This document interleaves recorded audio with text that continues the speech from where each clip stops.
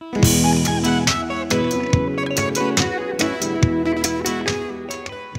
I'm Tilly from the sewing company Tilly and the Buttons and I'm going to be showing you how to make your own pyjama bottoms.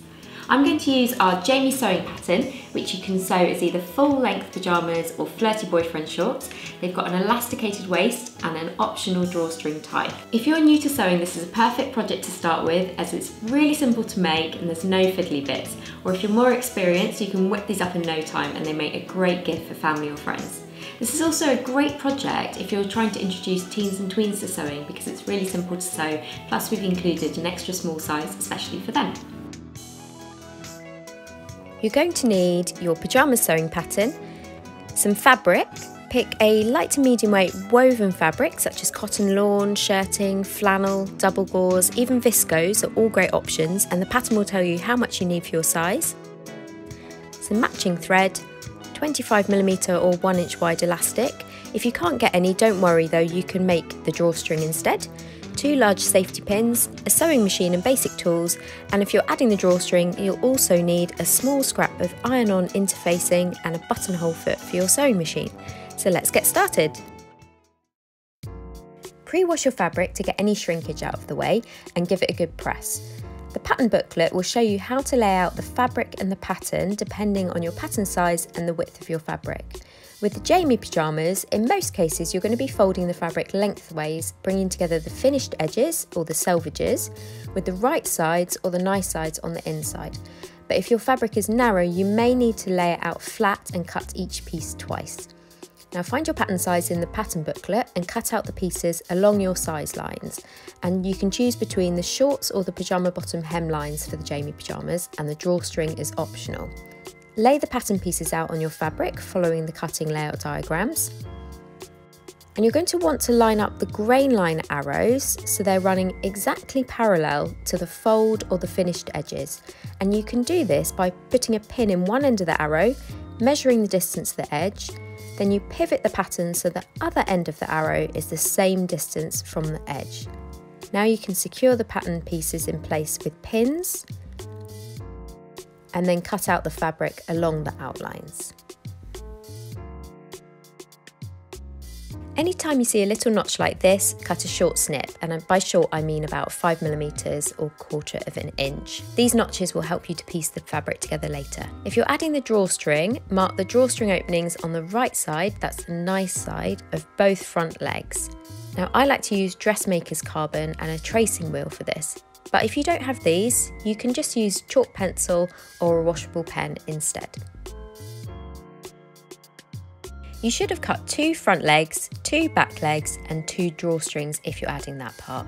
Now little tip, you can attach safety pins to the back legs so you can quickly tell them apart from the front legs and if you've already lost track of which are which, the back legs have longer crotch seams with double notches.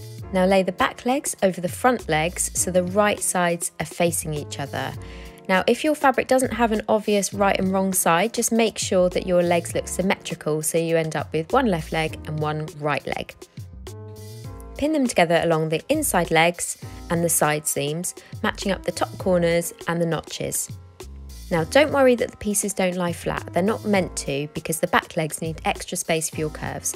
Just match them up at the raw edges. And now you can start sewing. So stitch together the seams that you've just pinned.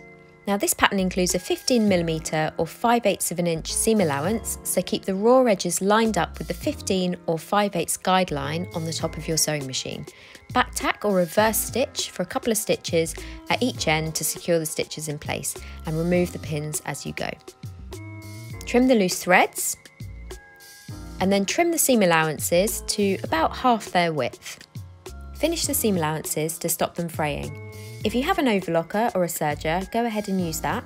Otherwise, you can sew zigzag stitches along the edges using your regular sewing machine. And if you need some help with this, search zigzag finishing on tillyandthebuttons.com. Alternatively, you can use pinking shears. Now use a steam iron to press the seam allowances towards the back leg. Now start by pressing the wrong side or the inside of the legs and then the right side or the nice side pulling the fabric away from the seam as you go to get rid of any ridges. And now we can join the two legs together. Turn one leg wrong side out and one leg right side out. Slip the leg, which is right side out, inside the other leg, so the right sides are facing each other.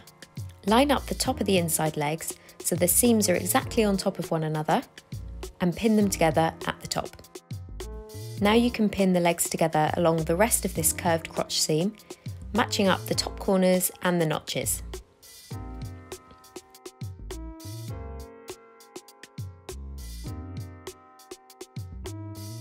Stitch along this pinned curve, again using a 15mm or 5 8 of an inch seam allowance.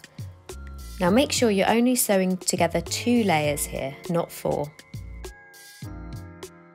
Top tip, you can sew an extra line of stitches along the middle of the crotch curve to reinforce it and avoid any awkward wardrobe malfunctions.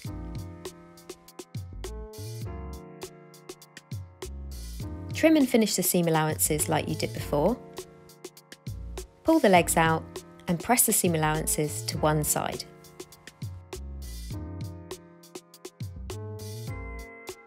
If you're not adding the drawstring, skip ahead to the next section called Make the Waist Channel. If you are making the drawstring, cut two small rectangles of iron-on interfacing, about 2 centimetres by 3 centimetres or 3 quarters of an inch by 1 and a quarter inches. Find the drawstring opening markings on the front legs and place the interfacing pieces glue side or rough side down underneath them on the wrong side of the fabric. Press them in place with a hot dry iron. Stitch a buttonhole on each drawstring opening marking, making the buttonhole 12 to 15 millimeters long or half an inch to 5 eighths of an inch long. Now if you need help sewing buttonholes, we have videos on our YouTube channel which will take you step by step through this bit. If you have a sealant like Fray Check, use it now, then let it dry. Carefully open up the buttonholes with a buttonhole chisel or a seam ripper.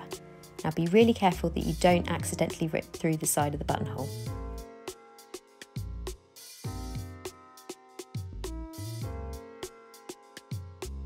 And we're really getting there now. Now we can make the waist channel for the elastic and or drawstring. With the pyjamas right side out, fold the top edge under 15mm or 5 eighths of an inch to the wrong side and press the fold. Then you can fold it under another 35mm or 1 and 3 eighths inches, press again and pin in place. Measure an opening of around 10 centimetres or 4 inches at the back and mark either end of this opening with a pair of pins and then you can remove any pins in between. We're going to leave this part unstitched so we can thread the elastic through in a bit. Line up the fold with the 30mm or 1 and 1 8 inch seam allowance guide on your sewing machine. Sew around the waist channel, leaving this opening unstitched, back tacking or reverse stitching at each end.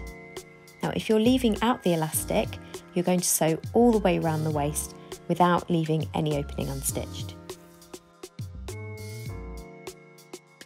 Now to add the elastic. Measure your low waist, which is about 5 to 7 centimetres or 2 or 3 inches below your navel. Take off 10% for stretch and add 1.5 centimetres or 5 eighths of an inch for an overlap. For example, if your low waist is 90 centimetres, your elastic will be 90 minus 9 plus 1.5 equals 82.5 centimetres. Cut the elastic to this length and attach a large safety pin to each end. Use one of the safety pins to secure the elastic to the inside of the pyjamas near one end of the waist channel opening. Use the other safety pin to thread the elastic all the way around the waist channel. Once it emerges at the other end, feel around the channel to check the elastic isn't twisted. Remove the safety pins and pin the ends of the elastic together, overlapping them by 15mm or 5 eighths of an inch. Now you can try your pyjamas on and check you're happy with the fit of the elastic, adjusting it if you need to. Pull the elastic out of the way of the fabric and then stitch the ends together with a couple of lines of stitches, back tacking securely. Pin the unstitched lower fold of the opening to the inside of the legs. Sew the opening closed with a 30mm or 1 and 1 8 inch seam allowance, so in line with the rest of the waist channel stitching. Make sure the elastic is out of the way of the stitching. Again, you can skip to the next part if you're not making the drawstring. If you are adding it, lay the drawstring pieces right sides together at one short end and pin them together. And stitch. Top tip for you, sewing machines love to chew up narrow pieces of fabric like this when you start on the edge.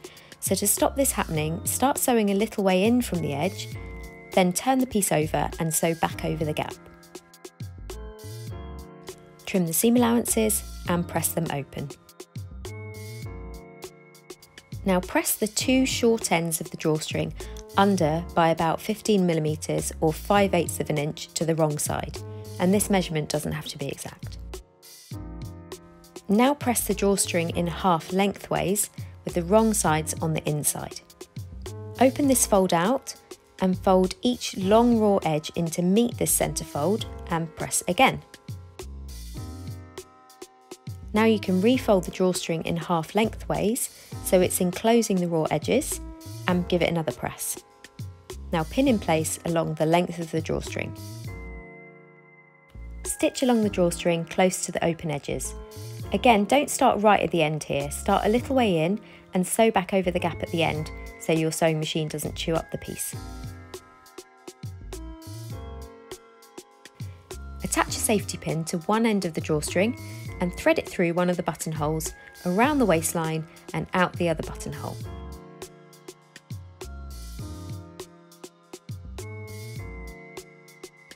Remove the safety pin and tie a knot in each end.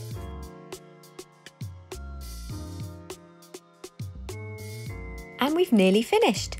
Try your pyjamas on and check you're happy with the length. Bear in mind they're going to be 2.5 centimetres or 1 inch shorter once hemmed. If you want to shorten them, you can trim them down now. Fold and press the leg hems under 10mm or 3 eighths of an inch to the wrong side. Fold them under another 15mm or 5 eighths of an inch, press again and pin in place. Stitch the hems in place 10mm or 3 eighths of an inch from the bottom edge. I like to sew with the pyjamas right sides out and the wrong side up on my sewing machine, so I'm sewing inside the loop of the leg. Overlap the last few stitches over the first few stitches to secure them in place, or if you think your stitches are going to miss, you can always just back tack at each end.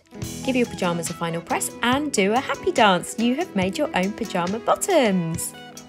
We would love to see your Jaimie pyjamas, so please do share pictures with us on Instagram at Tilly Buttons using the hashtag sewingjaimie, that's Jaimie with two eyes, so that we can see them. And if you want to sew more things with us, then subscribe to our YouTube channel and you can find our books, patterns and online workshops at shop.tillyandthebuttons.com. Happy sewing!